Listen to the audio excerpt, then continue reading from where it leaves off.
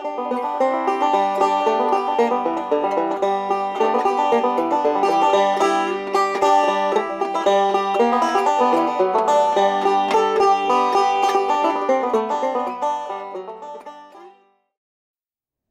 right.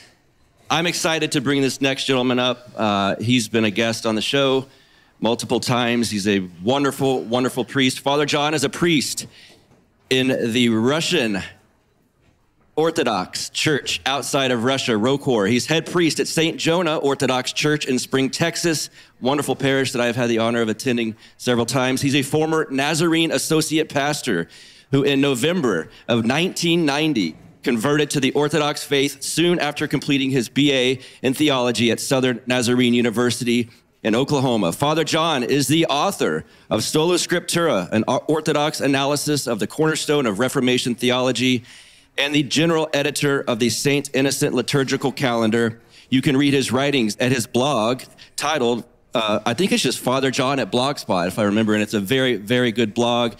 For anyone who's a new convert like myself, you can just go to his blog and, and, the, and type in a search bar kind of what topic you're looking for, and it's almost always there in my personal experience. So, without further ado, Father John, welcome up.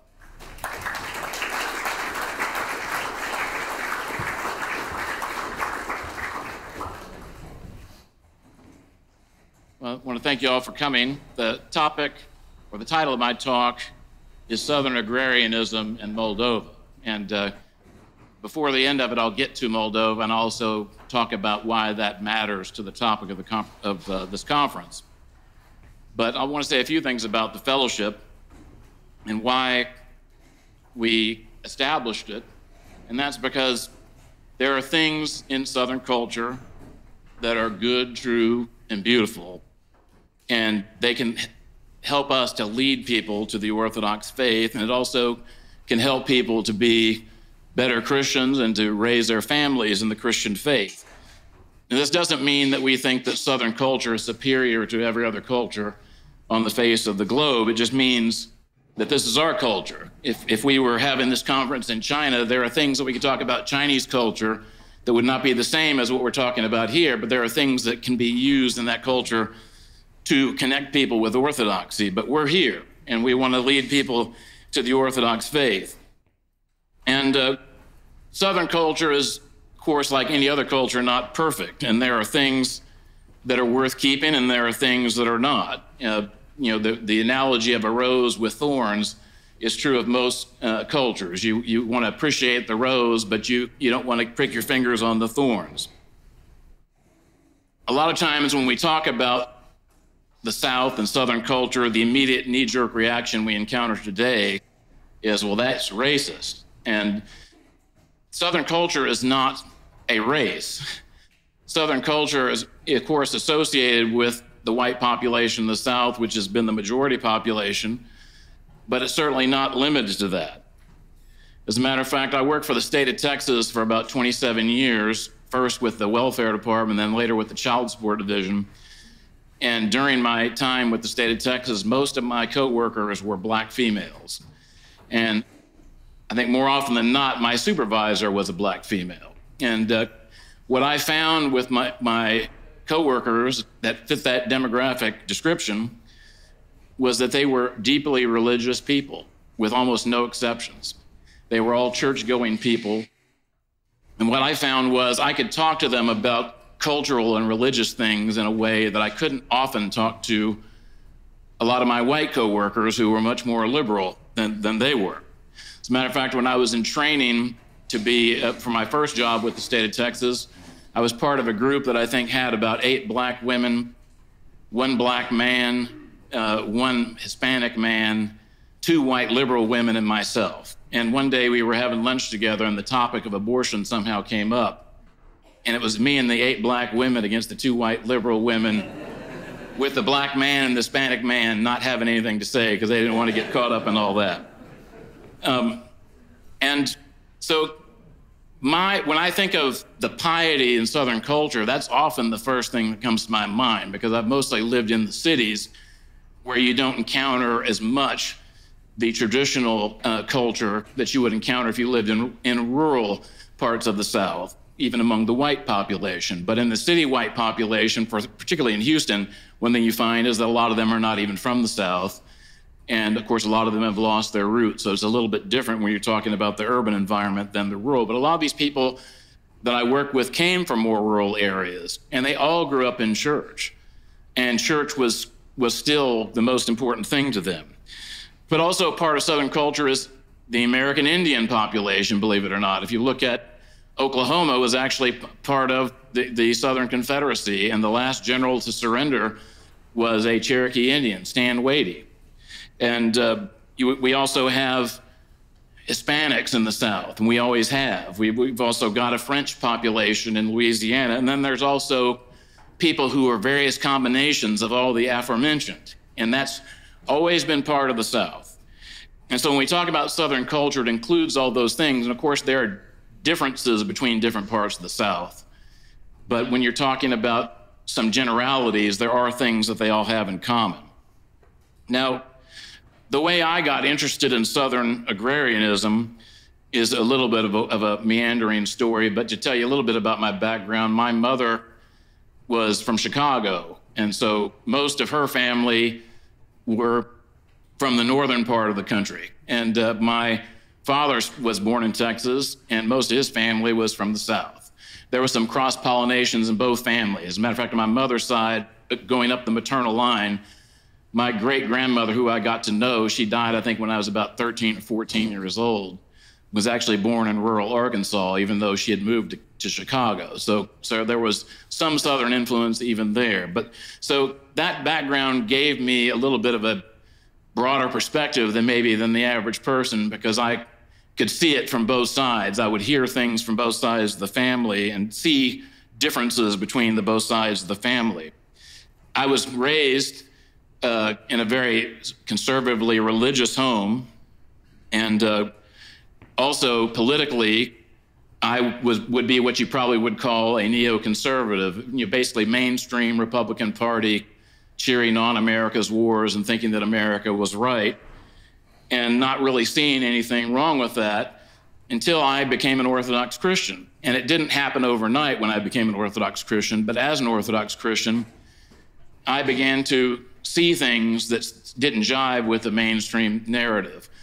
Um, I actually enlisted in the Marine Corps right at the, the, same week that I was baptized as an Orthodox Christian. I was enlist, I enlisted in the Marine Corps. It's a long story. I actually didn't go to duty because I got injured. Answered prayer. Yeah, long story. But but uh, but I enlisted right before the first Gulf War, and I bought all the propaganda that the Iraqis were taking babies out of incubators in Kuwait City and throwing them on the floor and all that kind of stuff. And I thought America was in the right. And I was ready to go fight and possibly die in that war. Um, but after I became an Orthodox Christian, I started seeing the results of our wars from an Orthodox perspective. I started to see things like the decimation of the Christian population of Iraq after we invaded later under uh, Bush Jr.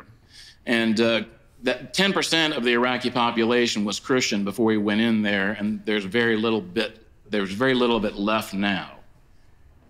And we did that. And at first I thought, well, maybe that was just an oversight. Maybe, maybe our uh, to, uh, the, the, the, the, geniuses we have in Washington, D.C. just weren't aware of all this stuff and the results that would happen when they stepped in there and removed a strong man who certainly had his his issues. But I don't think anybody looking at what happened to Iraq after the fact would say that Saddam Hussein was such a bad guy after all. A lot of people wish that they could go back to that period of time when Saddam Hussein was the president of Iraq because Iraq was a peaceful country and there were 10% of the population was Christian and they were able to function without fear. And quite a few people in his cabinet were Christians. And all that's gone thanks to us.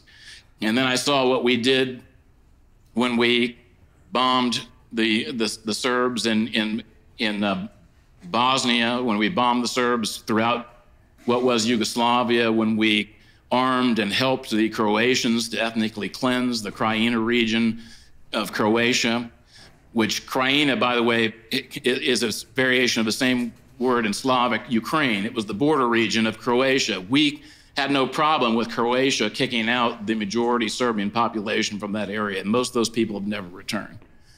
And so if I had not been an Orthodox Christian, I wouldn't be paying attention to some of these kinds of things. But because I was an Orthodox Christian, I started, I started to see, hey, wait a minute, there, there's something wrong here. And then more recently, our policy in Syria, where again, we have a country that was 10% Christian. We enable ISIS to go in there and start destroying historic monasteries. We, don't, we have no idea the historic loss that occurred because we enabled ISIS. It wasn't an accident. You know, when you have uh, an army that moves across the desert where there's no foliage to hide them, and, and the United States supposedly is fighting an air war against these terrorists, and yet they're able to move across open desert for, for tens and hundreds of miles and, and nothing happens to them. That was not an accident. And these monasteries, in many cases, had manuscripts that we have no idea what were, was in there. And there are things that, had we been able to access them before these uh, jihadists destroyed them, who knows what we might have learned about our own history. But all that's been destroyed. And we continue to occupy uh, more than 10% of, of Syria and to take their oil. And we're occupying the most fertile region of Syria, so we're not allowing them to access their food. And we are trying to starve the population of Syria to impose our will because we don't like their leader. Well, as an Orthodox Christian, I know a lot of people from Syria. And when you talk to Christians from Syria, I've yet to meet a single one that said Assad needs to go. And why do, you know, Assad's not a perfect guy. He's certainly not you know, a, a liberal Democrat, like, uh, you know, in the, in the broad sense of that term. But Assad comes from a Muslim minority group, the Alawites. And, and as a minority group in Syria, he has an interest in protecting the Christian minority because the more minority groups there are in Syria that are protected, the more his minority group is protected. And so he's protected the Christians. Whereas if we have the jihadists that the United States government has been trying to put in power take over that country, you can kiss the Christian population of Syria goodbye. And, uh, and those of you that are Antiochians, that's where your patriarch lives, is right there in Damascus. So you could see one of the four ancient patriarchates be eradicated in our lifetime because of American foreign policy. So all these things caused me to start to question things. But then I came across on YouTube doing some historical research, uh, Dr. Livingston, who was our previous speaker, and I began to listen to him and other uh, similar scholars lecture on these topics and began to read Southern agrarian writers and to hear what they had to say. And what I learned was is that what I thought was the American way was not the only American way. What is the American way as it's normally protected or, or, or uh, depicted? It's a crusade for democracy. We're going to impose our democracy. We want everyone to be like us. If you saw the movie, movie Full Metal Jacket, which I've ever, never actually watched, and from what I understand, I wouldn't recommend you watch, but if you have watched it, there's a line in the movie where some American officer, and I'll clean up the quote uh, a bit, but he said, inside of every Vietnamese person, that's the part I'm cleaning up, inside of every Vietnamese person is an American dying to get out. That, that's been the American attitude. Inside of every Afghanis, Afghani, there's an American dying to get out. We just need to go over there and let those Americans free, and they'll be exactly like us. Well, we come to find out not everybody wants to be an American. America, the American way has been if it can be done, we should do it. That, and there's good aspects of this. You know, we put a man on the moon. That's a great achievement for the human race. But some things maybe we ought to not do.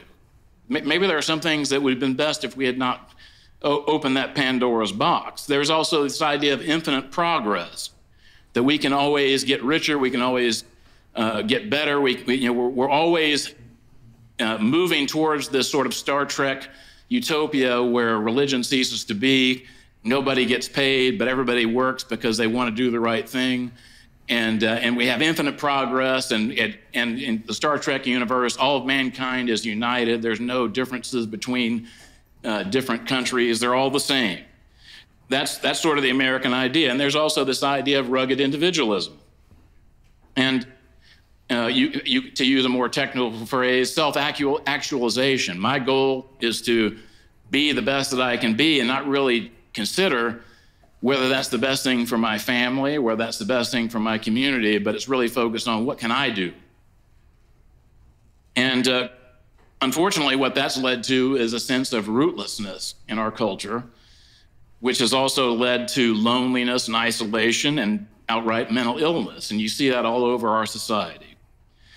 And it also has led to hedonism, where people just do what they want to do and they, they feel like it's okay. And because the way we've been told democracy is supposed to work, we're all supposed to say that that's okay. But if you look at where that has gotten us, I would say the results have not been good. My, my father was born in 1925, and he was part of that greatest generation that fought in World War II. When you think about that generation that fought in World War II, most of those people grew up on farms like my father did. And, uh, and they had a different kind of character than the average American has today. And I would say that the character has not improved. But I would say the other American way that I discovered when I started reading these Southern agrarian writers is the Southern tradition. For one thing, when it comes to foreign policy, the Southern way is to mind your own business unless it affects you directly. And we, we the Southern, not, not to say all Southerners have been this way, there have been imperialistic Southerners too. But just to give you one example, when the Mexican American War was on the horizon, John C. Calhoun, who was uh, at one time the president, vice president of the United States, but one of the great Southern politicians before the Civil War. He spoke out vehemently against the invasion of Mexico. For one thing, he said, if we, if we allow an American president to go and provocatively send troops to a border region that's under dispute and create a military incident so that we can get into a war and then say, oh, the flag's been fired on, so we have to declare war, we're never going to see the end of war. Well, that's it, more prophetic words have never been spoken because that's the history of the United States in almost every war thereafter is that we provoke an incident and then go to war and say, oh, we've been fired upon and it's all okay. And there's a great quote, and I, I didn't uh, write it down, but you can look it up. But he talked about how, for one thing, we ought we, we could negotiate with Mexico about this. This this incident that, that happened was not a justification for a full scale invasion. And we ought not want to humble our sister republic, Mexico. And that the future of America is linked to the future of Mexico. We ought want to see Mexico prosper. And what's been the, what's been the result of us not being concerned about the prosperity of Mexico? Well, we've had a lot of bad things uh, coming across that border as a result of that. So we should have listened to what he had to say. One thing about the Southern tradition is, is that we take tradition seriously, and before we tear a fence down, we want to find out why the fence was there in the first place, and to consider what the consequences of it are going to be. And there's the Southern tradition is to try to balance material comfort and progress with family and community, and to not push things to the ultimate limit, but to try to maintain cohesion in, in, in your community. And there's definitely a, a value that we place upon faith tradition and our history, and Dr. Livingston talked about that great, a great deal. But basically, what the Southern agrarians were warning against in the 1930s was is that the good things in the South that are still there could all be gone because if we go down the industrialization route that the new South politicians, which was a progressive movement, by the way, and that's where Jim Crow came from, by the way, what the, the, the the pre Civil War people, the people who lived before the Civil War that became politicians after the Civil War, were opposed to Jim Crow laws. It was the New South movement that said, hey, the North has these Jim Crow laws because that's where they began. And we should be like them. We, you know, if you can't beat them, join them. That's basically what the, the New South is all about. They're industrial, we should be industrial. We should do like they're doing chase the dollar and, and get rich, and everybody will be happy. Well, you know, there's a good side to that, you could say, and that's that if you have industrialization, lots of people get work, there's material uh, progress that's made, but there's a lot that is lost. And when you can think about the warnings that the agrarians had, you have to say that a lot of what they predicted has already happened. But there's still some of what they were talking about is good in the South that still exists, and that's what we need to try to uh, tap into. A society is, is not just judged by its gross domestic product or the technology that it has. I would say the main measure of a, society is its human product. It's the ability to produce well rounded human beings. and to promote virtue. Now, virtue is not going to get you into heaven, so don't think that that's what I'm trying to say. But I would say that if you live in a society that is values virtue and pursue, pursues virtue, it's a lot easier to live a Christian life. It's a lot easier to raise a Christian family. So I would say that that's something that we should be concerned about.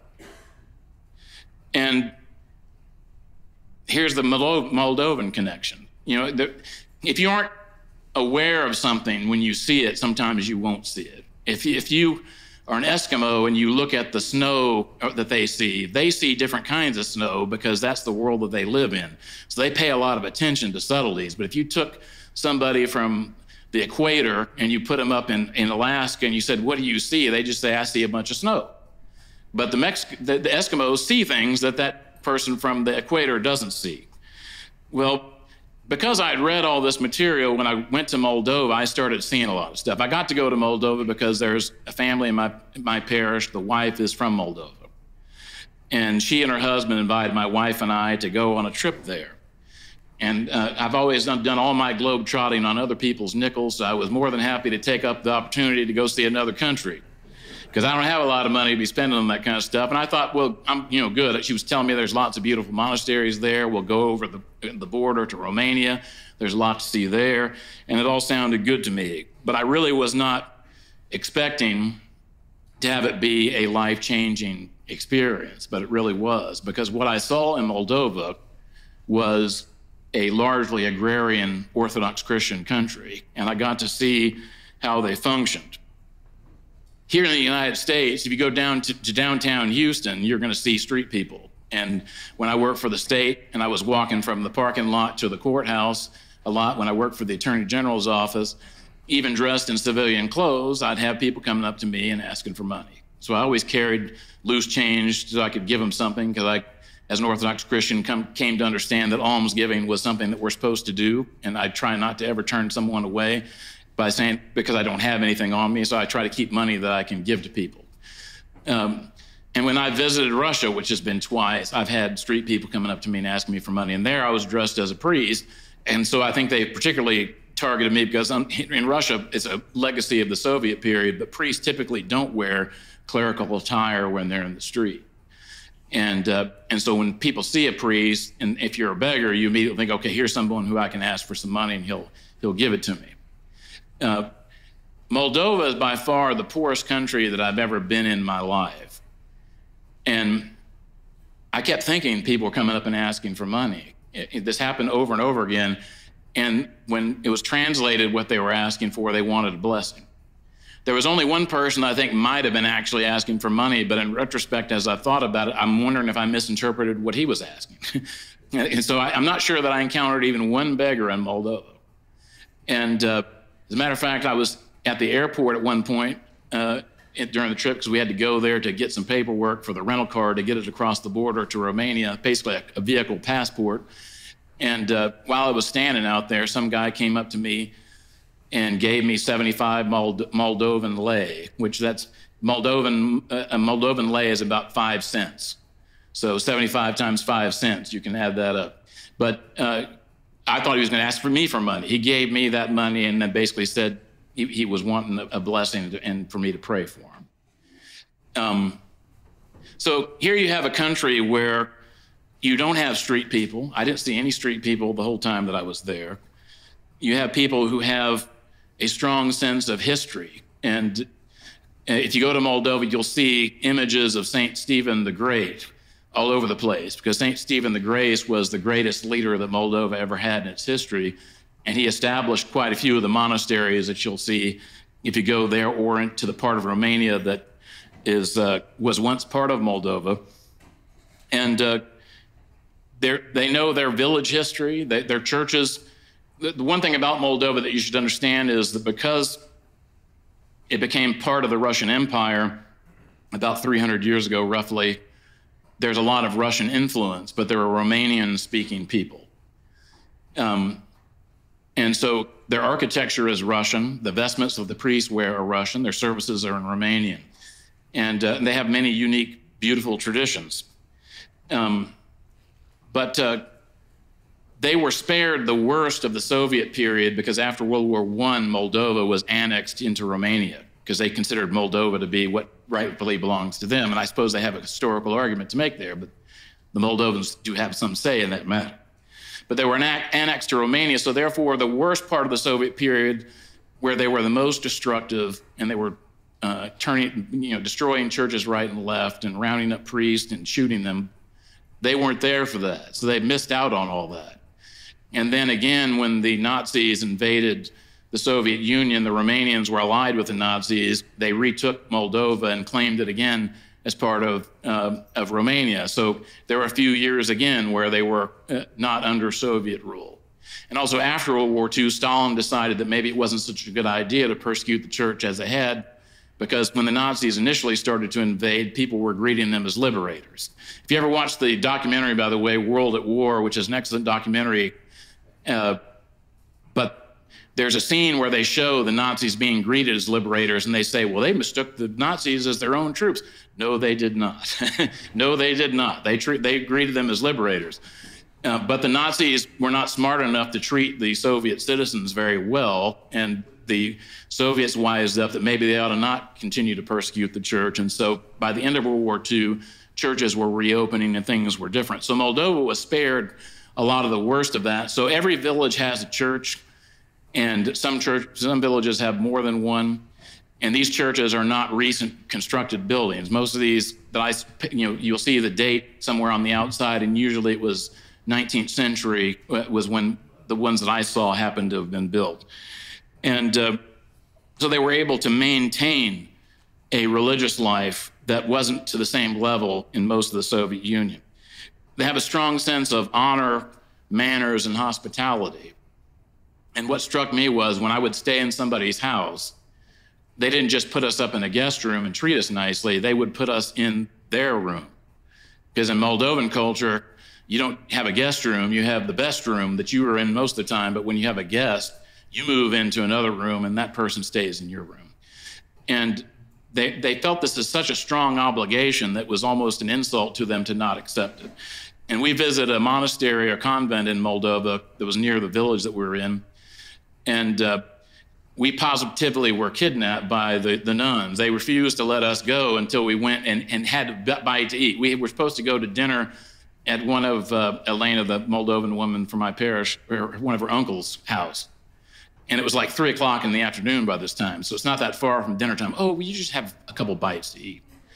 And we got in there and it was like a nine course meal with dessert and uh, and so it, it, was just really amazing hospitality. As a matter of fact, we we were we went off to this uh, spring, which is a miraculous spring, and the nun had told us where to go, but she came back to make sure that we just didn't leave. So that's how strongly they take hospitality, and their life is really centered on the the faith and the church. In the middle of this village, the village was Salkutsa.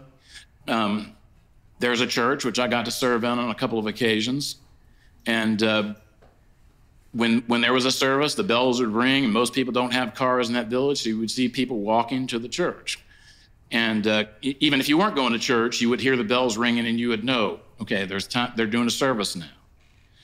Um, in that village, the the older priest, who's now retired but still hears confession, is the priest that baptized Elena. He was a signer of the Moldovan Declaration of Independence, and uh, and he was given a lot of grief by the KGB, but I'm told that they feared his matushka, so they only they only went so far with with him because she was she was fearless, and uh, but they have four sons, all of them are priests, two of which serve this parish still, and the older brother is the rector and the younger brother is an assistant. And they both are school teachers. So when Elena was going to school, Father Nikolai was one of her teachers.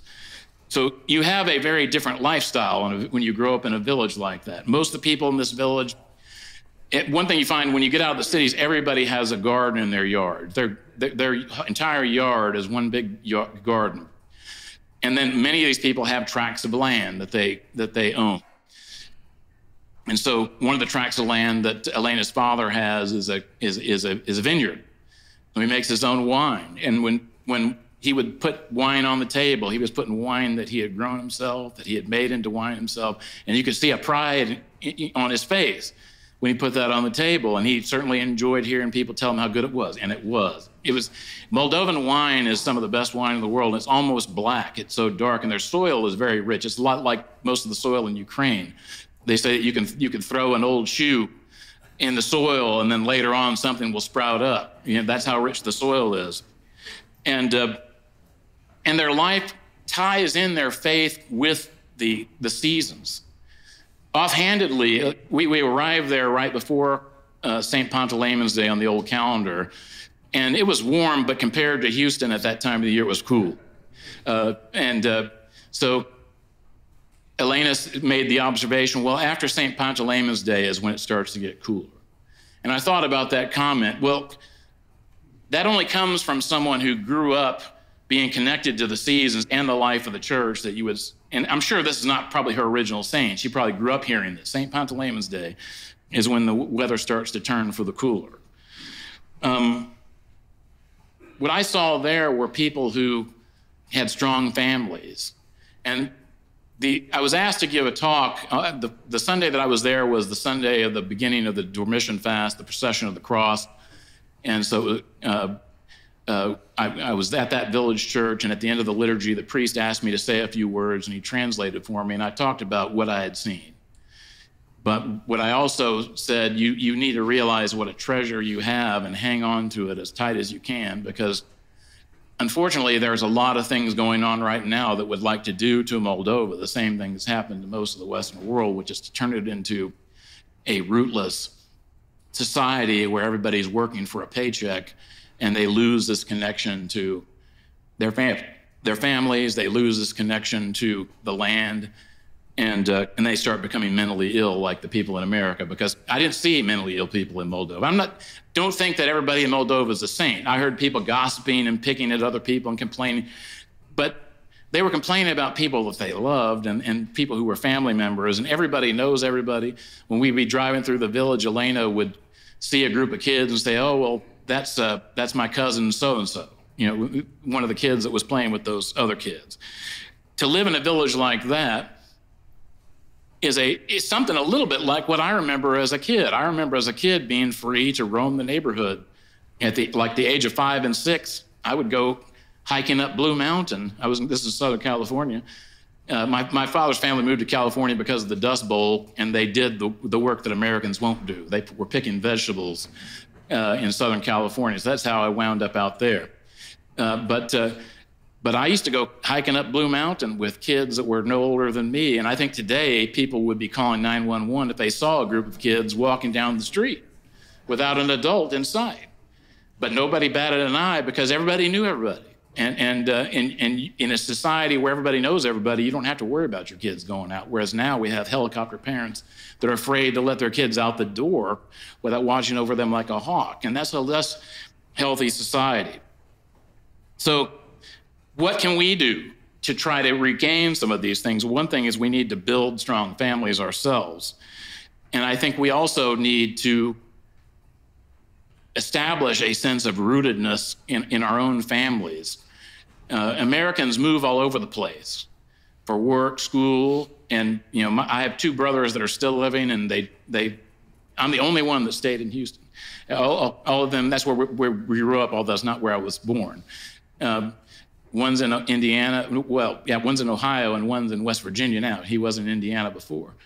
Uh, and so we're so scattered that my my kids didn't really get to know their kids, whereas the Moldovan people, they all know their cousins, they all know their, their, their, their, grandparents, they all know their nieces and nephews. They have these very strong connections. We need to rebuild that. And one thing we should know I mean, obviously, our ancestors would never came to America if everybody stayed put forever.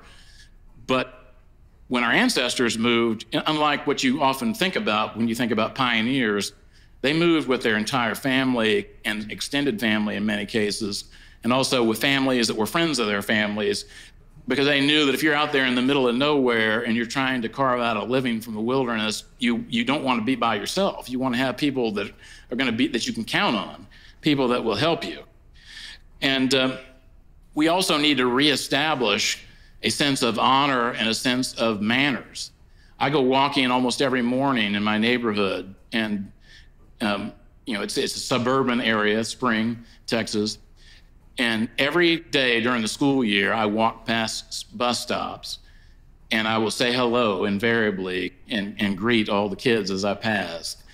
And only gradually have some of them started to answer me at all. And I, I can't even imagine that because, you know, I grew up in the same country, at least ostensibly, and, uh, and it never would have occurred to me to have an adult say hello and me to not say anything back. But that's the way kids are being brought up today. And I think the only way that we can make any dent in that is to consciously continue to be courteous to people, even when they're not courteous back, and just and to re-implement some old-fashioned manners, and also practice and, and value hosp- hospitality. And of course, our life should be centered in the church. That should go without saying. But I also think that we need to, to the extent possible, reconnect with the soil, even if that just means having a garden in your backyard. My wife has a garden in the backyard, and generally I enjoy the garden by watching her work in it. Uh, you know, but but she she does ask for my help occasionally. But my wife grew up in rural China before, before she went to Hong Kong. I think at the age of uh, six, or maybe it was nine. I can't remember. But uh, so she actually lived in a rural area, and I think that she has a little bit of a love for that beyond what the average American has because of that. I'm one generation removed from the farm. I didn't grow up on a farm, but I, when I was a kid, though, we had relatives that had farms, and I would go visit them, so I had some idea of what farm life was like. Whereas the further you get away from having a connection with that, the, the, the less connections you have with the land. And, you know, St. John Chrysostom talked about the need for people to get out in, in nature. Pilgrimages were one way that you, you can do that. But living in a city is not natural. The first city we read about in the Bible was established by Cain, and Cain was not the good guy in the story. Uh, the, we were really made for a rural life. We were created to tend a garden. And, and I think that to the extent that it's possible, we need to try to reconnect with that, even if it's in small ways. But certainly, if you're able to do it in a bigger way by moving to an area where you can actually have enough land to do things like raise chickens, maybe goats or pigs or something like that, we should try to do that. Because a kid who grows up with farm animals is going to have enough sense to know that there's men and there are women. They're not, you know, 57 genders. Um, and you know, my I have two granddaughters. One of whom has a birthday today, and I didn't when I we scheduled this conference. I didn't think about that, and I really regret it because they're doing the birthday party right now. But but my son-in-law, he takes her out regularly to what they call the land, and and because he has he grew up out in. Uh, Columbus, Texas, and, and Kerrville, eh, they have a family farm out there too. So he'll go out there and they get to see it. And so she gets to see farm animals. And uh, when she was real little, she spoke more Cantonese than English. So when she, she would she would she would call out to the rooster, "Gungai, Gungai," call it to the and, and that means rooster in, in Cantonese.